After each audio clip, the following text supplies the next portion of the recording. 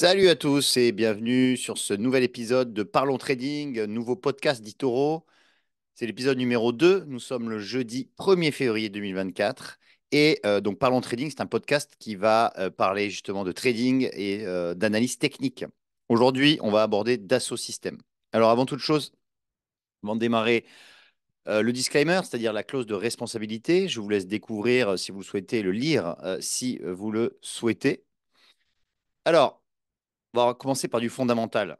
Euh, Dassault Systèmes vient de publier ses résultats pour le quatrième trimestre. Le bénéfice net est ressorti à plus 6% sous les attentes. La marge opérationnelle a progressé de 1% à 35,9%. Et le quatrième trimestre est globalement décevant.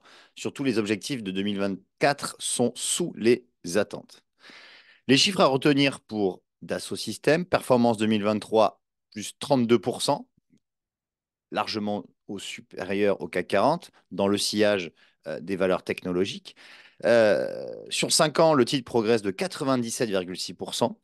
Et surtout, depuis le début hein, de, de, la cotation de Dassault Systèmes, qui date de 1996, le titre a fait x28, c'est-à-dire a pris 2800%. Le secteur, c'est bien évidemment la tech. Alors, on va entrer dans le vif du sujet avec l'analyse technique. Alors, Dassault Systèmes, voilà. Euh, Dassault donc là, vous êtes sur un graphique en weekly, c'est-à-dire en données hebdomadaires. Une barre représente une semaine. Et vous voyez que depuis euh, maintenant, euh, depuis 2018, la tendance est haussière, matérialisée par cette oblique haussière. Donc à chaque fois qu'on tape cette oblique, on rebondit dessus. Et le support majeur ici est identifié aux alentours dans la zone 32 euros, 32,50 euros. Alors maintenant, je vais zoomer un petit peu, me mettre en graphique du journalier, en daily, parce qu'on va mieux voir comment est faite cette configuration graphique. Eh bien, vous voyez toujours cette zone de support hein, euh, majeure, hein, euh, donc euh, je dis 32, 32, 50. On a inscrit un plus haut historique en novembre 2021, donc à 56,70 euros. ce plus haut historique donc, a été inscrit fin 2021. Derrière, on a subi une profonde correction, puisqu'on a baissé de 43%. Euh, on a baissé de 43% entre euh, novembre 2021 et on va dire grosso modo euh, juillet-août 2022. Derrière, phase de consolidation, vous le voyez, phase de consolidation et fin d'année 2023, impulsion haussière ici. Donc cette impulsion haussière magnifique, hein, avec vraiment un enchaînement de bougies euh, verte, euh, donc de séance haussière. On a dépassé du coup euh, la résistance à 41,80 et derrière, donc on a continué à progresser. à noter que la moyenne mobile 200 jours est assez intéressante puisque elle, elle, elle, elle, suit les cours, donc elle prolonge les cours. Là, elle est servie de résistance. On repasse au-dessus. À noter qu'on est toujours au-dessus. Mais aujourd'hui, patatras, effectivement, c'est pour ça que j'en parle. aujourd'hui, les résultats euh, ont fait que l'action a perdu 10,5% en une seule séance. Alors on se dit, on peut se dire, ben voilà, c'est terminé. Maintenant, la, la baisse va revenir, la tendance redevient baissière, etc. Eh bien, pour moi, pas du tout. Pas du tout. Au contraire. Au contraire.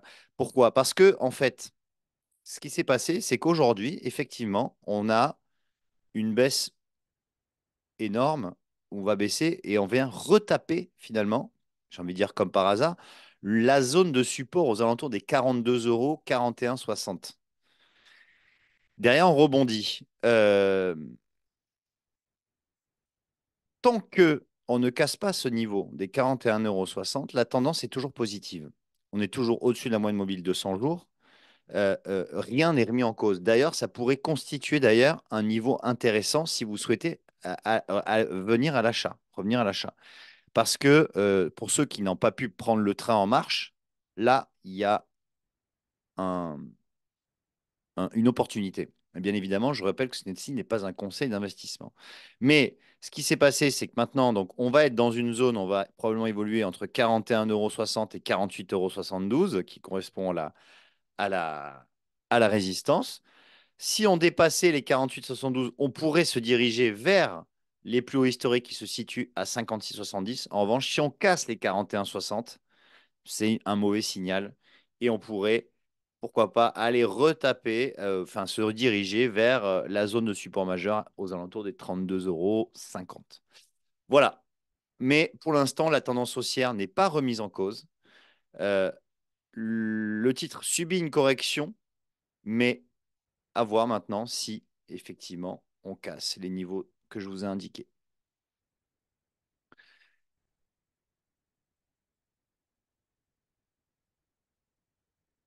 Pour ma part, je vous remercie.